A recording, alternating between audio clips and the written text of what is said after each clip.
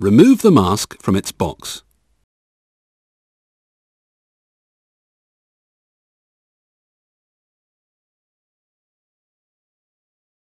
Fit appropriate filters. Here we demonstrate the fitting of particulate filters. Gas and vapour filters will follow later. Check that the filters are within their use-by date.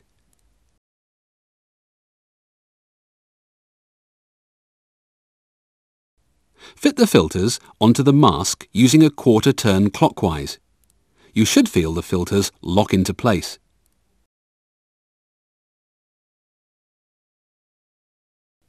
Place the mask onto your face and pull the head cradle over the crown of your head.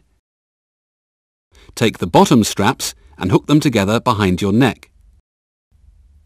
Tighten the top straps, then the bottom straps to secure the respirator, but take care not to over-tighten. Next, perform a fit check by pressing your thumbs into the central indentation of the filters. Inhale gently.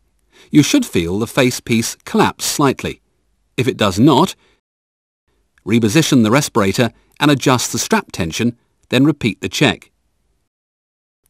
To attach gas and vapour filters, align the lines on the filter to the arrow on the mask and secure in place with a quarter turn clockwise.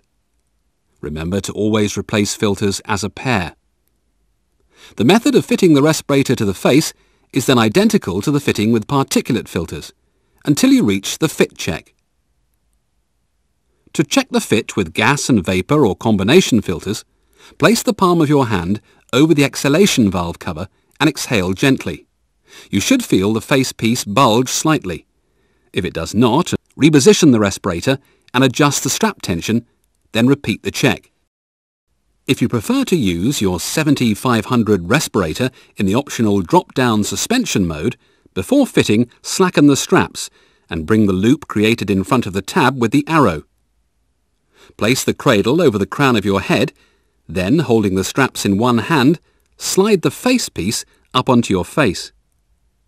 Take the bottom straps and hook them together behind your neck. Tighten the top straps, then the bottom straps, to secure the respirator. Fit check your respirator as demonstrated for the standard suspension mode. For short-term removal of the respirator from your face, unhook the bottom strap, slide the face piece down to the buckles, and allow it to hang from its cradle.